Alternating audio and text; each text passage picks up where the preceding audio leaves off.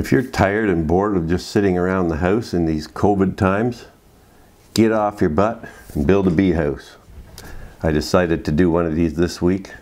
In addition to the two bat houses and kestrel house I just built, I've wanted to do another one of these for quite a while. I built one years ago, but it's an old one.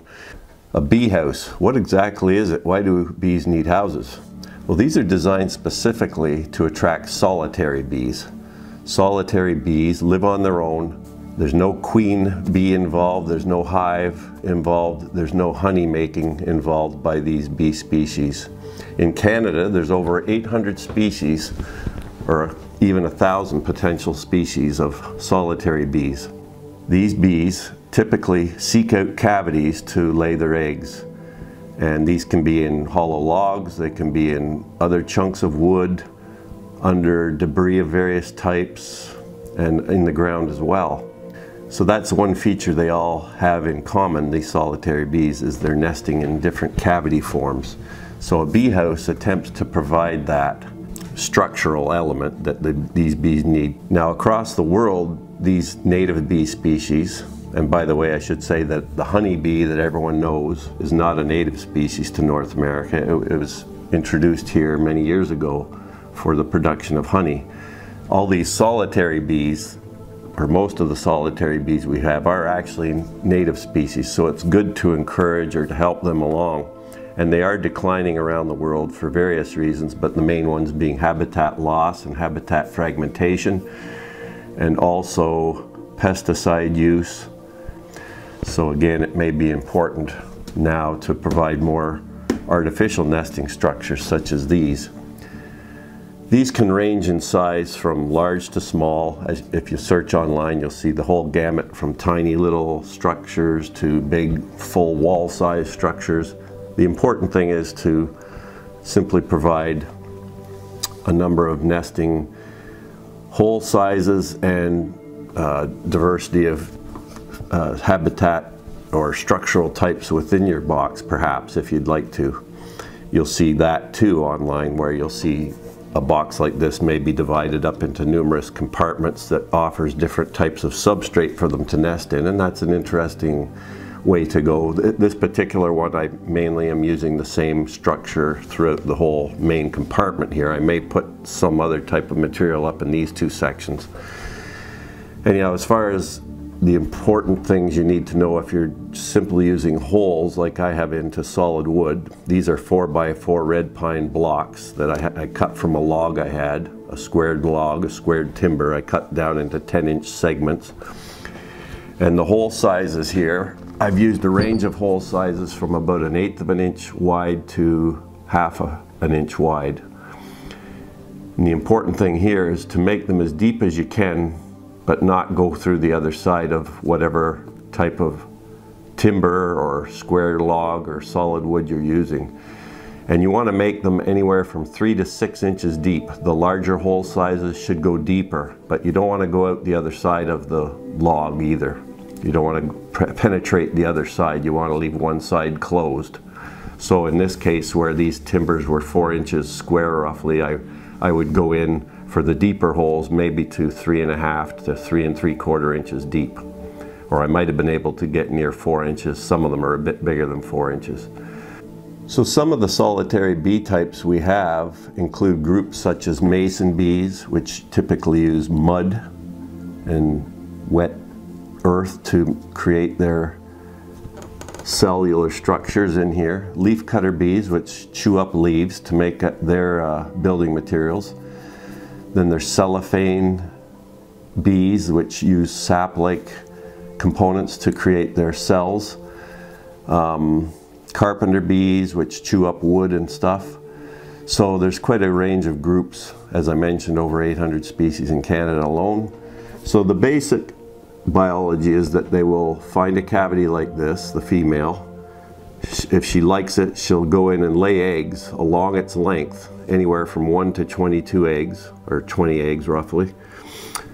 And each egg is given a bit of pollen to feed on, and then the cell is, that cell is compartmentalized. The female will create a wall structure to uh, um, separate it from the next egg she lays.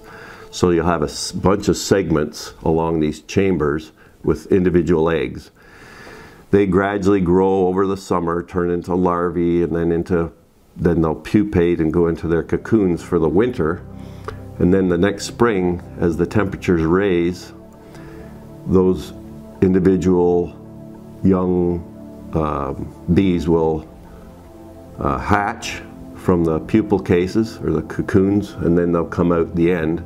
They'll chew off the end cap here which is usually a cap of mud or a cap of vegetative debris that's been chewed up into a saliva type structure. So they'll emerge. That's sort of the life cycle of these solitary bees.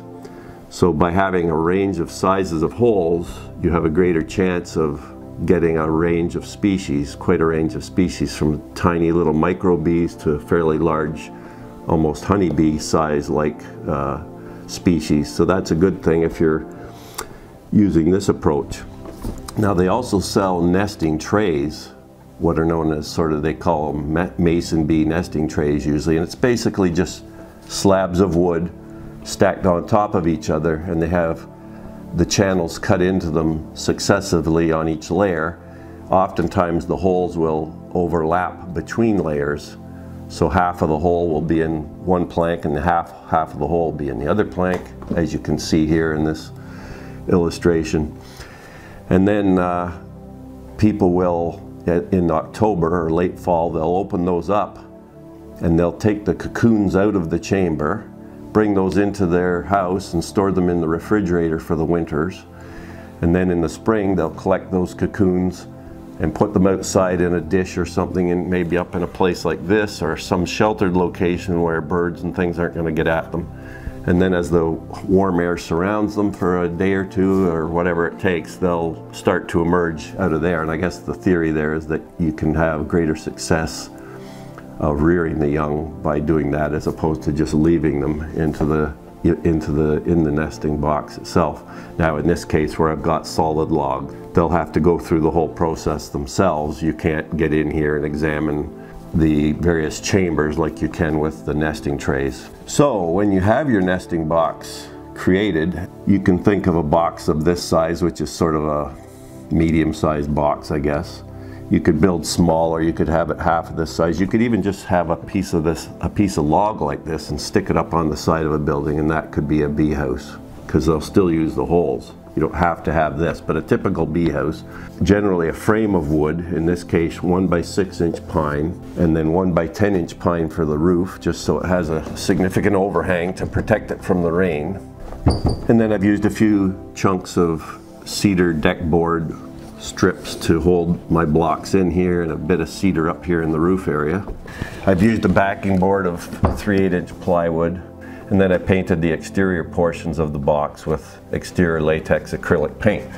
You don't want to paint the nesting structures themselves, the, the wood of any type you don't want to paint. You also don't want to use uh, pressure treated wood because the chemicals might negatively affect the young as they develop. So you've got the frame and then the roof typically a box like this you could have separated into several compartments. For example, I could have put a dividing board here and maybe one going up and down too and then I could have had four compartments that I could have tested or just offered four different types of substrate. I could have had logs like this in one, a whole bunch of twigs piled together sticking in and out I could have had bamboo stake, other debris, corrugated cardboard. People use have used all kinds of different structural materials to put in their different compartments. And it's interesting just to test it out to see which bees might be attracted to the different types of structure. So that's a fun thing to do, especially if you have kids. They could treat it almost like an experiment. Anyhow, I did forget to mention, I think, uh, when you go to erect this, a good option is on the side of a shed or a building, a garage, for example, the side of your house if you can attach it there, but it should face south or southeast to catch in the northern hemisphere. South or south, southeast to catch the morning midday sun. That's what the bees like. Now you can also put it on a pole if you don't have access to um, a building side or that's appropriate up at about four to five feet in height. I hope you'll give it a try. And we can hopefully help out our solitary bee native species. And uh, probably didn't even mention that, that fact. There's so many facts here. They're one of the more efficient pollinators of the bees out there, apparently even more efficient than honeybees or bumblebees. Uh, partly probably because there's so many species of them, but also the range of sizes that they come in. They can pollinate many different types of plants. Especially if you're putting up a bee house, try to get it close to your gardens because uh, they'll help to pollinate your gardens. You may also get occasionally in these houses parasitic wasps that will nest in these holes. So they'll uh, sometimes come in and they're good for your gardens too because they'll help to rid your gardens of some of the pest insects by parasitizing on those pest insects. So that's all interesting things you can do when you get a bee house. Just simply put it up and observe and learn. Hope you'll give it a try. Thanks.